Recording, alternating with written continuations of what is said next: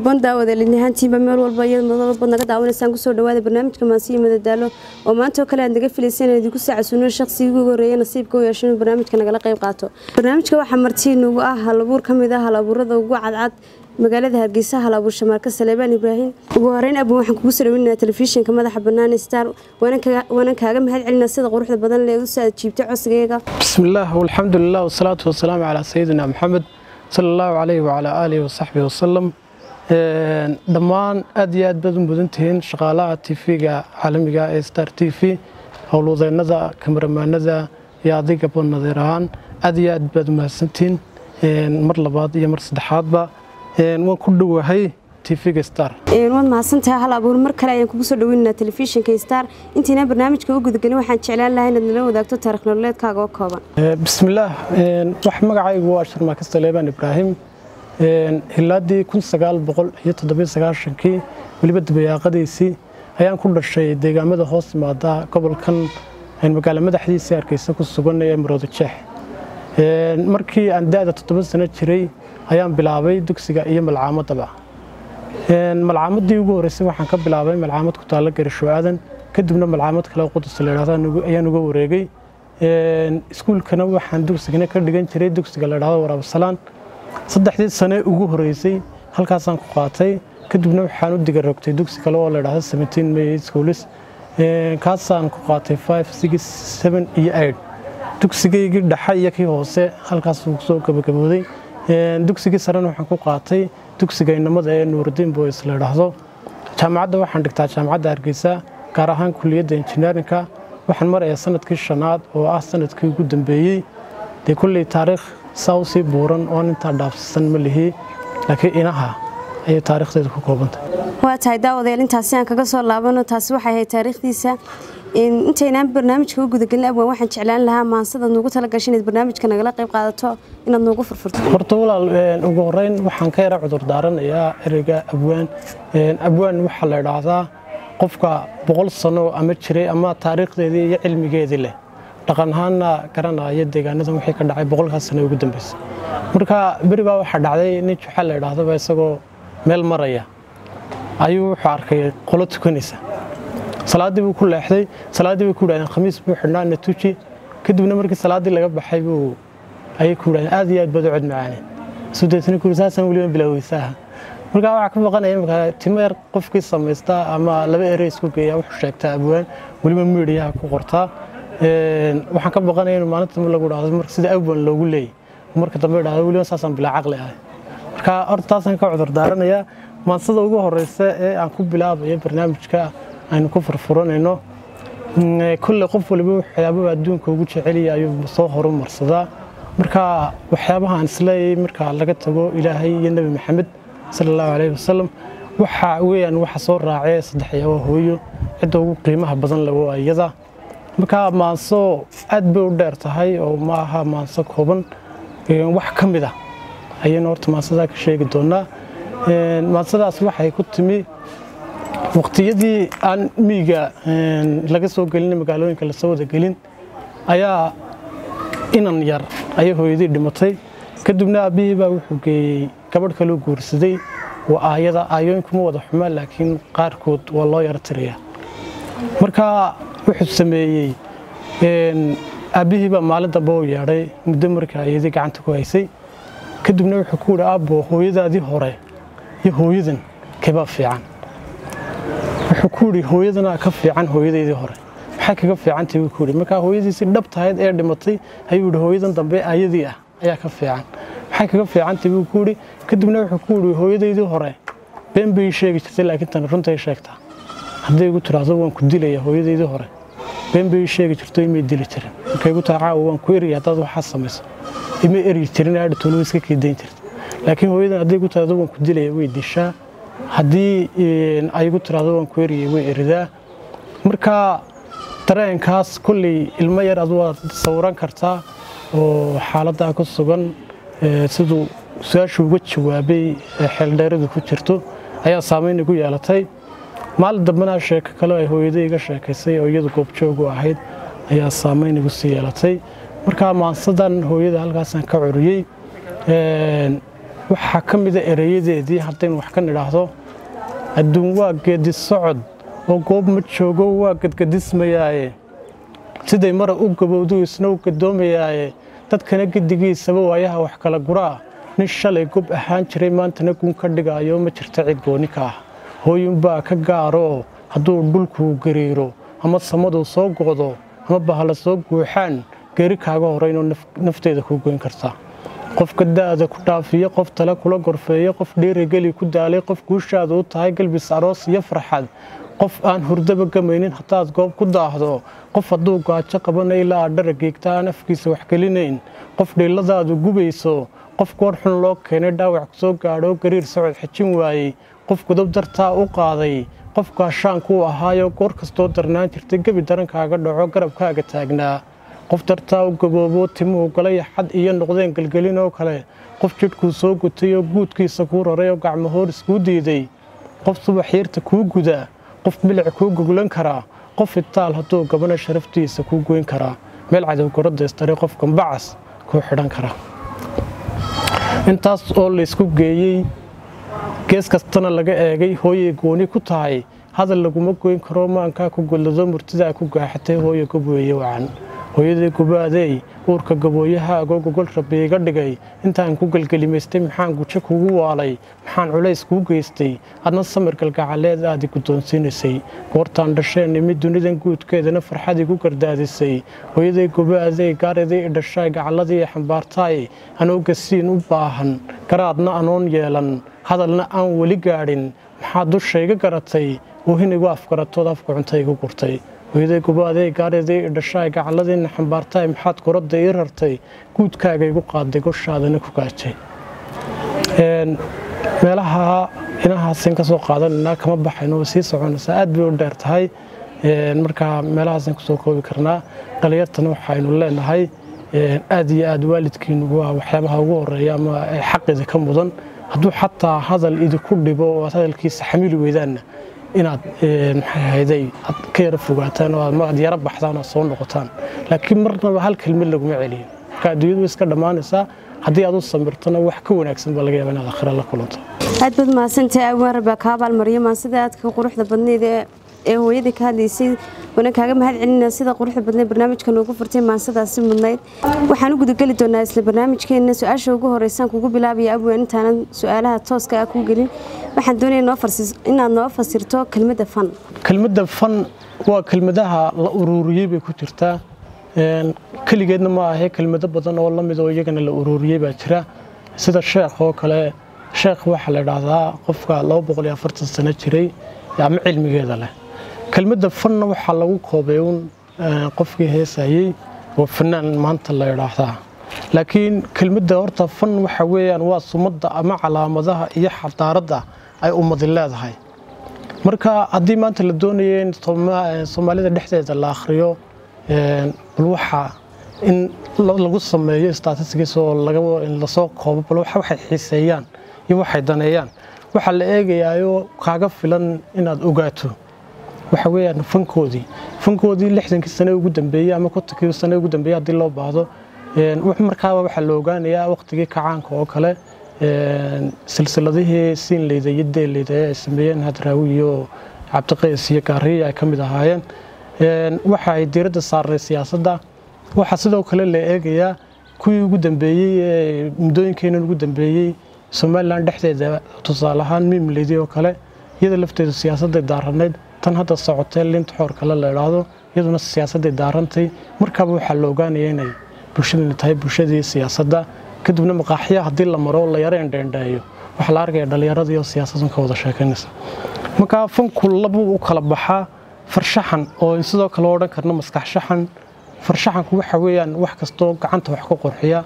Marka haddii aynu doonayno maskax shaxan oo la odhan karo marka hore qofku maskaxda ayuu ku diyaariyaa oo sawirkan quruxda badan leh hadduu ereya qurxinayo kale maskaxduu ku qurxiyaa hadduu guri dhisayo injineero kale yahay maskaxduu ku qurxiya markuu dhisaynka samaynayo kadib buu deetana gacantii u sawiraa marka farshaxan iyo afshaxan ba loo kala saaraa. Farshaxankii waxaa ka mid a noocyada injineerinka iyo wixii la halmaala noocyada abwaanada waxaa kaloo ka mida sawir sameeyayaasha. Farshaxan hadda waxaa loo yaqaanaa uun sawir sameeyayaasha oo keliyata noocyada ciyaaraha sida kubadda iyo wixii la halmaalaa waxyaabahaasoo dhan ayaa laysku idhahdaa farshaxan afshaxan haddii aynu nimaadno afshaxan waxaa la idhaahdaa waxaa sii hoos imaado codshaxan. Codshaxanna labuu sii kala baxayaa luuqshaxan iyo dhawaqshaxan. Luuqshaxanka waxa weyaan kii la xamistaha ahaa dhawqshaxankina uu sii kala baxayaa. Waxaa hoos imanaya qaariyadii qur'aanka ku qurxinayay codkooda hees qaadayaashii oo iyaga lagu soo koobayba la gaadhsiiye heer in loogu yeedho fan shimbiraha oo kale iyaguna dhawaqe ayay qurxiyaan. Waxaa la idhahaa muusiga oo kale waa waxyaabaha codadkii shimbiro la soo ururiyay ayaa laga sameeyey kelmadda fan haddaan intaasi kaga nimaadno waxaan u gudageli doonaa su'aalaha tooska abwaanka ugu talagalnayna maanta weydiino su'aashaan ku weydiinaya abwaan waxay odhanaysaa xilli ma ayaad bilowday ama kugu dhalatay hanka halabuurnimo su'aashaa walaal markii ugu horeeyey ee hanka hal abuurnimadu igu dhashay halkaa laba su'aalo su'aal kalaa ku sii laaban oo ah markii ugu horeysay ee aan isku dayey inaan wax sameeyo ama aan wax qoro dee ahaan waxaan jiray labaiyo toban ama saddex toban sano warqad baan ku qoray inaan saaxiib nahay ayaan markaa u sheegay. Inankiiba igu celceliyey tus inankaasaan tusay. Wixii ka dambeeyey dee dhalinyari kolle wiska ciyaar iyo waxyaabihii la halmaala ayay ku mashquulsantay. Waxyaabahaasaan ku soo mashquulay oo intaa dhexoo dhan maan samayn jirin. Iminka muddo saddex sano ah ayaan samaynayey halabuurnimada oon maasooyinka iyo wixii la halmaala aan curinayey muddooyinka maalintii ugu horeysay anoo meel iska jiifa sariirtayda duhuraan sii seexanay ayay igu dhalatay. Inaan bal horta me saddex erey afar erey wax saasoo kale ayaan isku yaradayey inaan saddex nin oo aan saaxiibnahay ayaan ugu diray wasaabka intaan cod ahaan ugu duubay waxaan ku uhi yaad u malaynaysa inuu sameeyey tixda kadibna middo wax abwaan weyn buu sheego magac weyn leh. Dhiirgelin bay ii noqotay. Markaasaan maansadaydii ugu horreysay. Weli waxaan ku guda jirnaa qeybaha barnaamijka gaar ahaan su'aalihii tooska aan abwaanka ugu talagalnay inaan weydiino. Abwaan su'aashan ka weydiinaya kale waxay tahay waxaad noo sheegtaa gabayga ama maansidii ugu horreeyey ee aad samaysay iyo sababta kugu dhalisay. Walaal markii ugu horeysay maansidii ugu horeysay aan sameeyey waxa igu dhaliyey waxa ay ahayd inan aan garanayey iyo inan aan garanayey oo xidhiidh ka dhexeeyey ayaa dhallinyarnima qaatay waxbaa dhex maray inantii foofkaa ka xumaaday. Kadibna meeshii waxaa yimi uur baa yimi iyo in ilmo yara meeshii caloosha soo galo. Kadibna ilmo yaraa dee maadaama xidhiidh jacayli ka dhexeeyey inkastoonay waxaas dee wax wanaagsan ahayn haddana iyaga iyo rabbigood u taallaa adigu waxaa dhacday inay isku sii afgaran waayaan xumaan kalootii ka sii xunay meesha timi inuu ilmihii la korin waayey inuu ilmihii dee iskuba dayba inuu dhakhtaradii iyo kinin iyo waxbaa la cunaa waa diba la soo dhaafiya waxyaabahaasoo kalena inay dil tahay in kale allahu aclam waxyaabahaas ayaa meeshii sii yimi. Marka maansadan ayaan ka curiyey maansadu iska bilow bay ahayd maansadii igu horeysayna way ahayd waxa laga yaabaa inay wax ka yaraad laakiin haddana maansadii ugu horeysay aan sameeyey. Hadii markaa aan wax ka soo qaadano waxaa ka mid ahaa sida gudgudaha sida gudgudaha rooboo habeen guuraynayo gufaacada calaydh kana gariir u raaco garaskii gunta adkaaye gahayrka qurxoonaa ama goomashaagii hohobta macaan laga guran jiray ama galoolkii maydhaxda iyo dhimbiisha gaarkaa lahaa gedigoodba intuu qodeeyey geedba geed saaro goobaha wada dhadhaab iyo gobol ciida ku reebay. Go-iyo baaskaan xusay arrinka gows weyn baan idiin gudagelayaaye. Idina waxaa gudboon iyo waxa lagu gubanayo nin goobo badan soo joogay. Arrin guntii weydii. Geli adduunka buuxiya iyadoo laygogol xaadho goob wacana oo guri barwaaqaa gees kastana gebi dadku wehel gaara ii yihiin ama gaadh ilaaladay. Garmaqaatayaal inay u gooyaan naftooda ka xiga ka xiga ilgibadhsi waxi gaadhiyo gafana yara wixii geysto. Anoo guga tobannada gaadhay quruxna la gabanaayo isha qumaygu ganaano garabkayga inaanay goynin ama gaawaha isaarin geed isku toosinaya. Weji guduudkii baan lahaa gumayska ciroobaano galeeyaxa ku tilmaami jiray. Gudaha fasalkayga iyo haldoor baan ka gaadhay gebigoo dugsiyada. Marbay talla kaa gumudantaa dhallinyarnimo waa gunoo meel guuray ku dhigtaaye dhegta gashoo dhegayso sidaan u gubay wacnaantaydii geesi hooye ku dhashaa geesi hooye ku dhashaa garanaya waxaanay ragafinoo gurmad kuu noqdo kuu diida goob xun iyo gumbuuraha nafwaaga. Maan garwaaqsan hadalkiisoo gadgadoonka waayaha hawa aad ku gubatiyo kugu rida god halaqoo markaan gees kala eegaan gaf ka galay rabbigayo. Goobtaa geridii ka dhacdaa gundaha laygu jaro goljilcda lay dhufto guntoo layga riday iyo laygu maalay gujada xun. Gabalka maalinkaa dumay gabalka maalinkaa dumaa i dhacay goor xunoo igu ridaynta gabadhi ka faanto. Hadallana kala gaadhaa dhacaaya godadkan.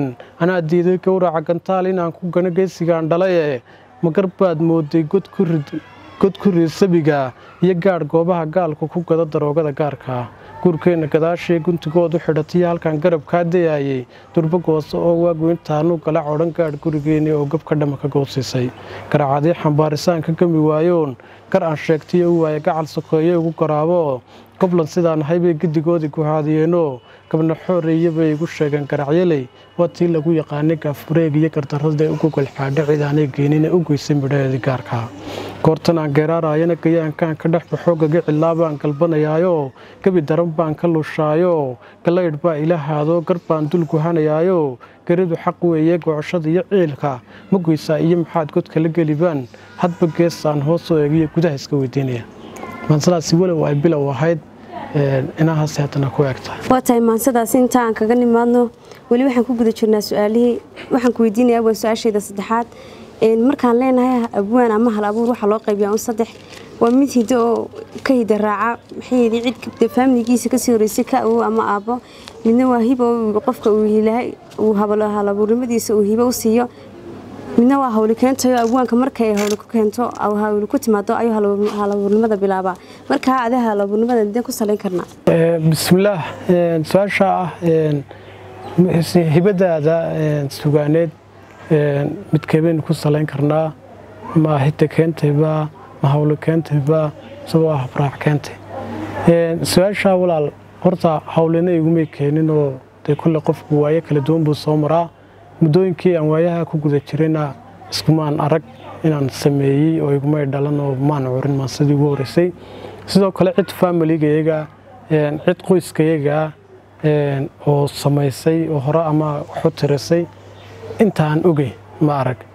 Marka wuxuun baan odhan karnaa waa iska ilaahay keenta. Inta haddaan kaga soo laabano su'aashaasi su'aasha xigteen abwaanka weydiinaya waxay tahay markaa hal ama abwaanadu inta badan waxay ka gabyaan maxay hayday maasooyinka ama heesaha jacaylka wadaniyadda iyo aduu inahaasay ka gabyaan. Markaa adi hal abuurnimadaada midkay diiradda saartaa ama waxa ugu badan eed ka hadashaa maxay walaal su'aasha ah hal abuurnimadaadu maxay diiradda saartaa ama aad badanka wax ka tirisaa annaga waxaana xukumo dareenka dadka. Marka hadba waxay dareenkoodu daaran yahay ayaanu ka samaynaa. Badannaana wuxuu u badan yahay siyaasadda jacaylka dhiirigelinta iyo wixii kale soo raaca. Inahaas ayaan badanka ka sameeya abwan maadaama aad tiri maxay hayday halabuurnimada iyadu ay maasooyinka ama gabayada aad samaysay ku jiraan dhinaca jacaylka. Marka ma jirtaa maanse aad ka samaysay dhinaca jacaylka? Su'aasha walaal ah ma jirtaa maanse aad ka samaysay jacaylka? Haa way jirtaa. Jacaylka lafti jacaylka horta waxa weeyaan waa dareen ku dhex abuuran qofka bini aadamka weligiina wuu jiray. Waqtigii nebi maxamed sala allahu caleyhi wasalam ayuu saxaabi yidhi saxaabadii kale ku yidhi anigu nebiga igu jecel yahay dadka. Deetna waar maad ka joogiyo may waan weydiinina markay la yara murmeen kadibna wuu yimi yaad ugu jeceshay baa la weydiiyey. Caaishuu yidhi yaa ku xiga aabbaheed yaa ku xiga cumar yaa ku xiga cismaan markuu halkaa maray basbas ku yidhi. Waxaan ka baqay buu yidhi inaan noqdo ka ugu dambeeya. Marka jacaylku wuxuu u qaybsamaa waxaa hoos imaada galgacayl xiiso iyo jacayl dhaba. Marka xiisaha waxa weeyaan waa qofka sidan imika u badan tahay dhalinyarteena dhexdeeda inuu qofku intuu muddo ay labada qof yara wada xidhiidhaan ay isjeclaadaan ay kadibna markaaba kala boodaan amaba intay isguursadaan ay markaaba isfuraan galgacaylkuna waa ka ay hooyadu ilmaheeda jeceshahay. Jacaylka dhabteena waxa weeyaan kan labada qof isjeclaanayaan ee weligii ku sii abuurnaanaya ilaa iyo intay ka gelayaan godka aakhiro marka anigu anigoo da ahaan aada u yar kolle dadku ku adkaanaysa inay ay run u yara qaataan wallaahi mudda aad baan u yaraa waxaan ahaa primary baan ahaa iskuulka ama dugsiga hoose dhexaan ku jiray. Aid baan ahaa baan filayaa. Waqtigaasaan inan aan ka helay. Kadibna maansadaan horta marxaladihii kala duwanaan isla marnay ee ku jirta oo waynu soo bandhigi doonaa mansada insha allah waqtigaa aan dugsiga hoose ku jiray dugsiga hoose dhexe galaaska sideedaad baan ahaa. Ayaan inan ka helay maalin maalmaha ka mid a anigoo galaaskayga uu ahaa alfle oo albaabka taagan maalin roob da'ayey ayay iyaduna albaabka soo istaagtay. Kadibna halkaas ayaan iyadoo qosliysaan dareen ahaan ka raacay. Marka waan xasuustaa dee yar baan ahaa umaan sheegi karayn walow aanan badanaa kuba dhiiranayn hablaha. Waan dabageli jiray inamaan saaxiibnayna way raaci jireen. Marka aan sikadoodin yar u sii jirta saan u soconaa isle maalin walba u sheeg. Ayaan ka baqan jiray deedna tooska iska mari jiray iyadna xafadooday ku laabi jirtay. Markii muddo sidai ahaataba markii aan dugsigii hoose dhexe dhammaynay maalinkii imtixaanka la yeedhiyey muddo yar kadib waxay ka tagtay waddanka waxay tagtay dalka etoobiya anigoo sidii ku ilaawey welibana caadi ma ilaa markaa xasuusto ama jacayl la soo hadalqaado ma xasuusan jiray ayaa muddo kadib ayaan la sameeyey gruub ay ka wada hadlaan ardaydii barimarigu gruubkaasaan deetana lambarkeedii kala soo baxay deedna waan la xidhiidhay. Waxaan uga sheekeeyey marxaladihii kala duwanaa ee aan iyada darteed u dhibaatooday ama aan hawl u maray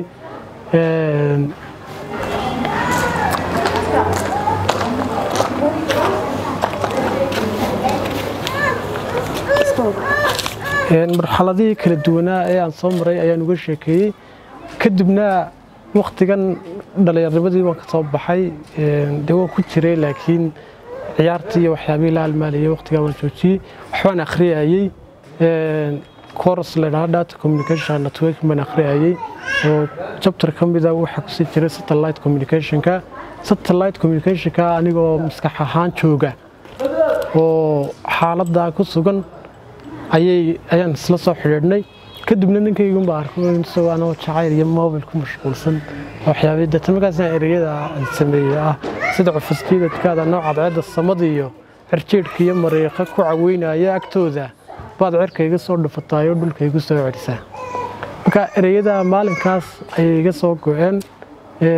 Muddo kadibna waxa aan u bandhigay qisadii markii aan uga sheekeeyey kadibna maansada saasaan ku curiyey subax cirku roobanaa adigoo fallaadh casuus leh.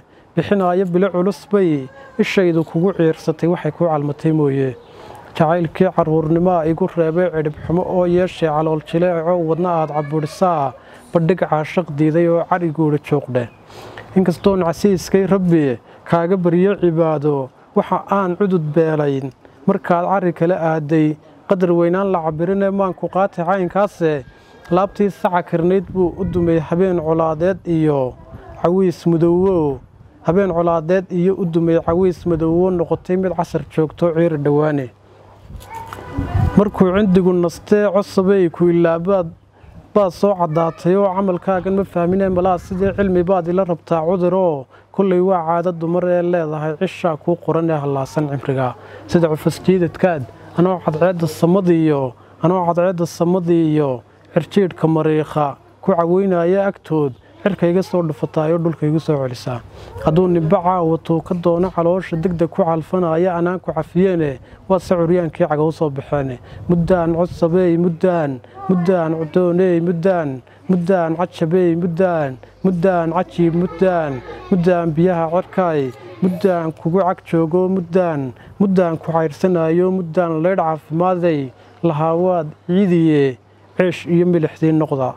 Naf baa kuu ciishootay una cillootay darta. Haddaad midhidh canaanato ciilba may qabteen oo cabasho kuumay sheegteen.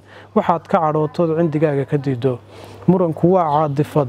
Mid baa cadho abuura mid baa cudad abqaala mid baa cisiga kaa dila mid baa cadaabku uluuliya hadalkoo la calaashada carabkoo ku daala camal shaydaan yeeshiyo cudur baarlamaan weeye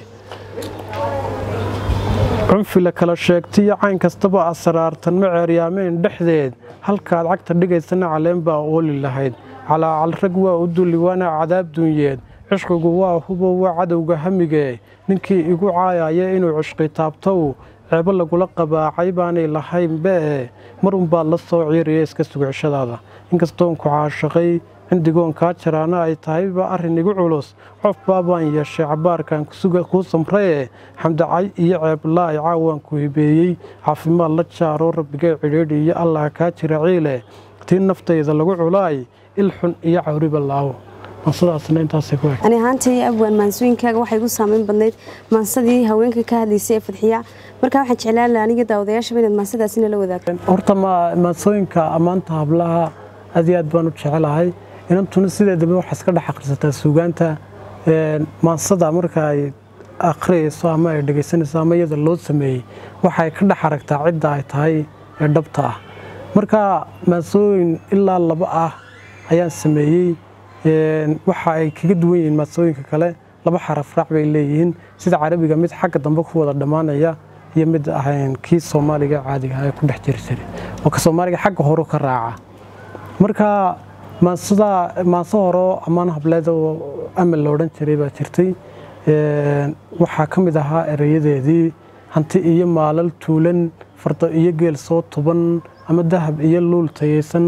Tintaadaanay goynin bilan talow mar weeyaa kuhaanan siday arooska ugu tuman taashkuu sudan boqran marka haddaan intaa iyada ka soo qaadanno maansadaa hore intaa waxaan ka wadin haddii yacni intaasoo lacaga hanti iyo wax walba lagu soo dhigo laisiraado ku meheri tintaadan tintaada yar markaa waxaan ugu talagalay in marka ay loo soo bandhiga guure lacagtii iyo waxay waxaasaan kugu soo doonina la idhaahdo marka loo soo bandhiga la idhahdo intaasaan sideedna ina tidhaahdo tintaydaanay goynin.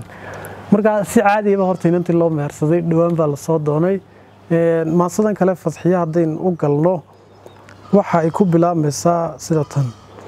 Inta dumar feedhatada ama naxariis fidayayaasha haddaad u fiirsato waxaanaad filaynbaa marba fudhkaaga soo tidhaa anna midaan isla faqaa farabadan ammaanteeda fii geeraar ku baxdaa ma jawi falag lagu helaa? Ma qorax fajar soo baxdaa ma fooro la sugaayaa? Ma fad arli ku hamsadaa? Ma dhibco dhulka filqantaa? Ma xareed faruurantaa ma webi qurux fatahayaa? Ma biyo fooq ka dhacayaa ma cosab fiiqfiiqmaa ma udug la fooxsadaa ma malab la fooqsadaa inantu foolaadsanaa ma fajac marlaaraga ma filan waa soo baxaa ma guul lagu foorjaynbaa ma naadir lagu faanaa ma dheeman la faydaybaa ma furihii indhaha ma furaash lagu gamibaa hablaha la facaana ma tuka fiiro dheerbaa ma qof farta lagu gudaa inantu foolaadsanaa ma fajac marlaaraga sankeedu fiiqanaa ma falleedh la qoraybaa foolkeeduna caddaa fiicnaayoo shidanaa midabkeeduxiyaylac baxaay haddaan ku fiiriyeyba. Fallaadh jeesi diiddaa foodkayga qabsatay oo fadhigii qaban waaye. Bal arrintaa fasiro oo kana fiiri nacabka oo meel fidmo ka ilaashan intaad keligaa ku furtid. Ma jawi falag lagu helaa? Ma qoraax fajar soo baxdaa? Ma fooro la sugaayaa? Ma fad arli ku hamsadaa ma nibco dhulka filqantaa?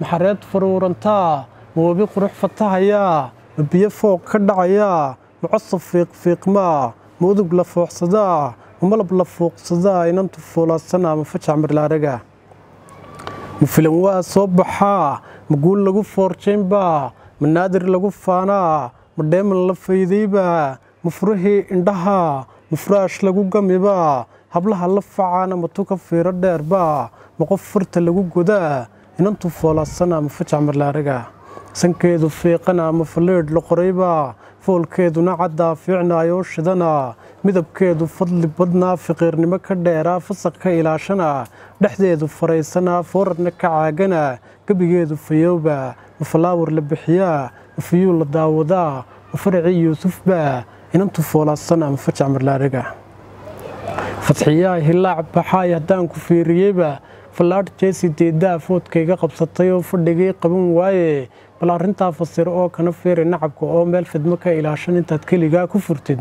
Dharaare ku falanqeeyo waxa fudh ka soo idhaahdo hadday sidaan filayo jawaabtu haa ku farto meel fagaaraa ka sheeg. Haddii kale afkaaga fuquuq.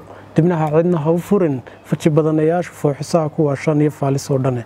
Waxaa yari furfuranaa farxaddeeduna badnaa. Dabcigeedu faxalsanaa sheeka faallayn ogaa cajiskana faydi ogaa jawi dareen fidin ogaa sheedda kaa fahmi ogaa hasaawuuna fulin ogaa anshaxana fiirin ogaa xumo ka fadhiisan ogaa talada soo fujin ogaa hanasho ku fiicana inantu foolaadsana ma fajac marlaaraga caqligeedu fiicana filkeedna ka roona fikirkeedu dheera fahankeedu wacana faylasuufsanaayo aqoon furfurana oo kolna firfircoona gacanteedu fududa mar kale farshaxansana oo faa'iido badna yartani fariistana haddana fahankeedu yara isdhuldhigeeduna foga oo kolna feejigana inantu foolaasana ama fajax marlaaraga fadxiyaa hilaac baxaay haddaan ku fiiriyeyba falaadh jeesideeddaa foodkayga qabsatay oo fadhigii qaban waaye bal arrintaa fasiro oo kana feeri nacabka oo meel fidmo ka ilaashan intaad keligaa ku furtid. Dharaare ku falanqeeya waxa fudh ka soo idhaahda hadday sidaan filaayo jawaabtu haa ku furto. Meel fagaaraa ka sheeg haddii kale afkaaga fuquuq dibnaha cidna ha u furin faji badanayaasha fooxisaha ku waashaan iyo faalis oo dhane waataa inta aan kaga nimaadno maasadaasi fadxiya. Waxaan filayaa qaar badanoo fadxiyoon inay maasadaasi dhegta u soo dhiganayeen. Daawadayaal waxaan ku sii siqinaa guntigii gabagabadii barnaamijka maalinimada maanta aan idinku talagalnay waxaan idiin soo qabanayaa maasadaan barnaamijka ku sii gabagabayn doono? Hal abuur waxaa jirtay gabay aad kaga qayb qaadatay silsilada liinta xolka oo in badan muddo badan midyaha ku jiray oo dadku aad u hadal hayeen. Marka waxaan jeclay inaad gabaygaa iskaga laftarkiisa nagula wadaagto. Gabayga linta xoorkale markaa soo hadal qaatay waa xadhig iyo waxbaa sawirmay moogta marka waxaa dhacday dhowaan in suxufiyiin la xidhxidhay kadibna hal abuurka cabdiraxmaan heelle ee reer burco oo silsilad gabaya ah gabay xaalad kale la idhaahdo uu ku iba furay. Uu ka soo ku xigsiiyey shilka kadibna ay abwaano badan soo galeen. Marka baashi baa dhinacu yar janjeersatay waxay yaro noqotay inay si qaab qabiil oo kale loo soo galo oo midnaba wax idhaahdo marka aniguna gabaygan xeel dheere ayaan kaga qayb galay. Marka gabaygan xeel dheere wuxuubuu ka hadlayaa un dhexdhexaad buu ka yahay markaa dhex buu ka yahay wuxuu xaggan kalena de wuxuu leeyahay saa iyo saa iyo saa ma yahay. In suxufiyiinta oo kale la xidhxidhan ma yahayn iyaguna inay meesha tagaan oo ay askartii ku doontaan gabahooda iyaguna ma ahayn. Sidoo kale xildhibaankii shaadhka leeg loo xidhay oo kale khalad buu ahaa. Waxyaabo badan oo la halmaala adigu wax walba dhex ka ahaa. In sidaas saa la idhahdana ma aha baashan saa noqotana ma aha. Laakiin waa inay street noqotaa. Dadkii loola jeedana de waa in waxay dhaliil ku leeyihinna lagu dhaliilaa wixii aanay xaq u lahayna laga yara ama haddii ay laga maarsami waayo baasha in la maldaho af maldahanaa jiree doorxul iyo sillan sugan iyo lagaadadii intaa la isticmaalo. Ayaan anigu idhi markaa gabaygu aad buu u dheeraa. In yaroo ka mid a haddii aynu soo qaadanno waxay noqonaysaa ama ay odhanaysaa nimanyu tixdii inii xardhanayd xadka soo dhaaftay murtiday xambaarsanayd buu nafluhu xiseeyee shilkana xariidh u xidhiyo dul xaadiye. Afar xabo gabaygu ka buuran iyo midhadh xudune waxaan lagu xifaaltami karayn bay nagu xoojiyeene haddaan sidaa loogu xaragoon xaraf lama odhane. Xadhkii layskuba xidhaydun kala xabisteene gabayguu xaalwaad joogaad xay ka dhigteen noole. Waxba yaanan aaraar xoogee sii xiisaynine aan ka fadhiista xeedhada xaggan ka abbaari. Xidaarkii cilmigee yaxyeynaad xustaan bay ahaydee waxaa xidigaha lagu gaadhuuna xasuusin lahaaye tacliin waa xalladda noloshiiyo xayaatadaade. Haddaanuu xikmadda ku jirta iyo ku dhadhansiin xalladda waad xiisa gabaydune kumaad xeel dheeraane. Xeeldheerihii aqoontee shaacirinaad xustaan bay ahaydee qabiilada laysku xaqiruu kala. Xisaabin lahaayee haddaan bahalku dadkan xariirtaa isku laabxaadhayn wixii lagu kala xalaal jabayna kala xakamaynayno soomaalidan wada xigaalkaa xinjiir u jiidayn. Waad xiisa gabaydune kumaad xeel dheeraane. Tuxuu qalbigay xasilayaano xarakeeyaane. Xildiid xabaasuud iyo xansharxal iyo waa u dawo. Danyaraha xanfaarka iyo xabaglaha sabool xayraanka ah. Haddaanaad xiska ugu dejino xaggooda la ogaan oon dadkan dantooda ugu xoonsanee u xanaanaynaya si ay xabad sawir ula galaan oo loo xayeysiiyo nacfixumadooda ugu yeedhin sida xagjirinta waad xiisa gabayduna kumaad xeel dheeraane. Haddaan xadiis iyo khayr bahalku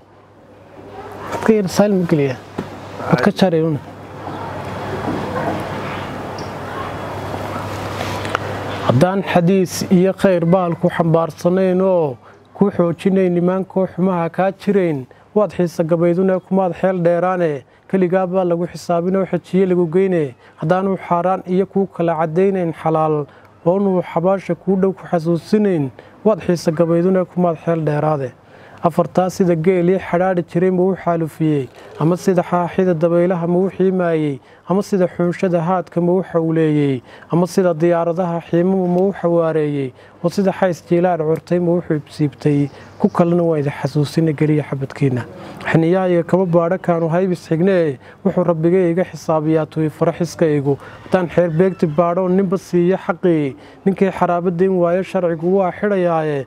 Nimankaad xoogga saartay ee xabsi kala maagtay waxay ku xisaabtamayeen baa xamku dul yidhi haddaanaad xiska istiraynood xaqa duusiyeynin xarun libaax ninkii degay ee xoola ku xaraystay ee weliba ka xanaajiya xeraday ku shiiday xanaaniya daryeel buu sugi nololeede dastuurka waxaa ku xardhan oo lagu xeereeyey nimankii xafiisyada qaar gala waa la xoortayne tiraha badh baa la xejiyaayoo la xakameeyaaye xarbi shisheeyaa laga dhowraa xagaldaaciise xadgudub inta aanaad samaynin xeerkaa la bartaa.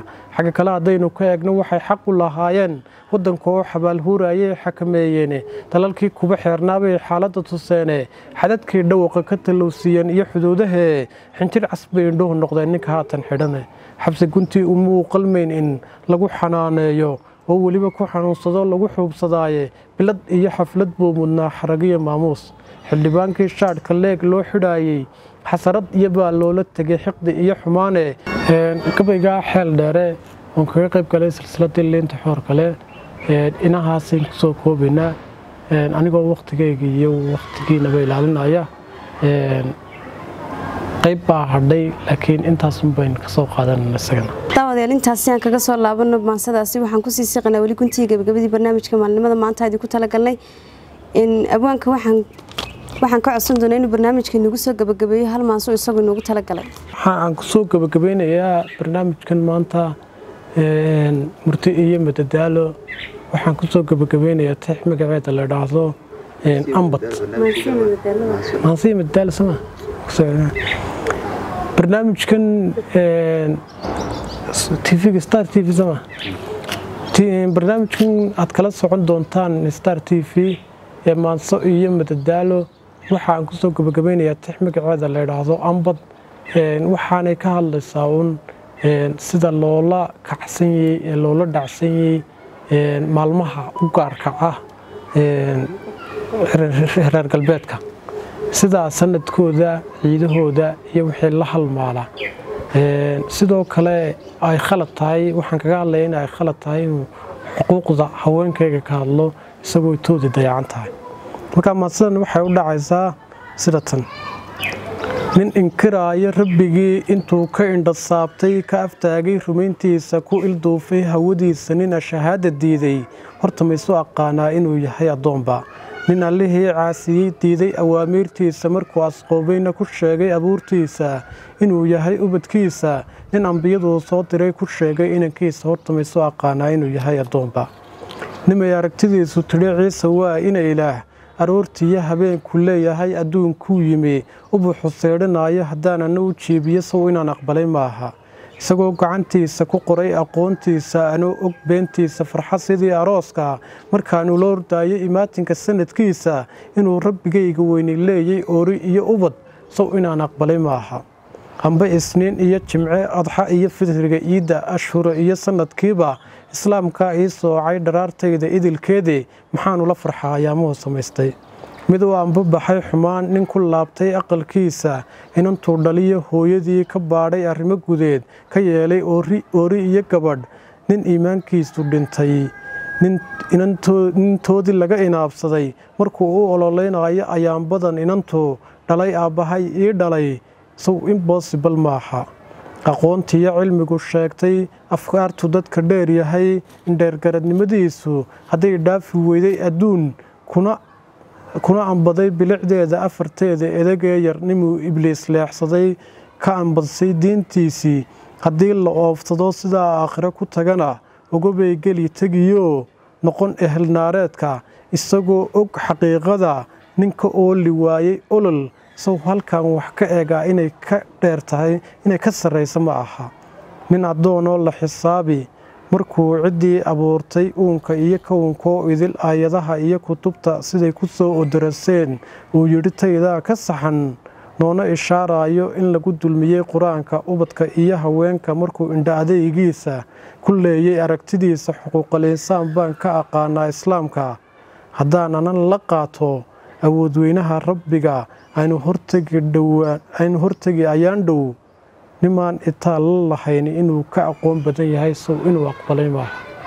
Meelahaasaan ku soo gebagabeynayaa aad iyo aad baan mar labaad iyo mar saddexaad ku mahad celinayaa waana bogaadinayaa oo aan hambalyeynayaa oo aan soo dhaweynayaa barnaamijkan quruxda badan ee aad u samayseen hal abuurka da-yarta iyo cid wal oo ka faa'iidaysan doonta ha ahaata madadaalo ama murti ama maanso maanso iyo murti kolle waa isku mid eh tay doonta ha ahaatee aad iyo aad baan u dhaweynaya barnaamijkan quruxda badan leeda noo qabateen aad baan kaaga mahad celinaa sida quruxda badan ee waqtigaaga noogu soo hortay. Daawadayaal guud ahaan iyo gebi ahaanba waxaan intaasi idinku soo gabagabeynaya barnaamijkii maansi iyo madadaalo oo toddobaadkiiba hal mar kala socon doontaan telefishinka madaxa bannaan ee star. Waxaa xusid mudan in barnaamijka ay qayb nagala noqon doonaan awaano iyo sidoo kale majaajilaystayaal intaan ku kulmi doono barnaamijka kan ku xiga waxaa idinka sii tegayaa sida iyo nabadgelya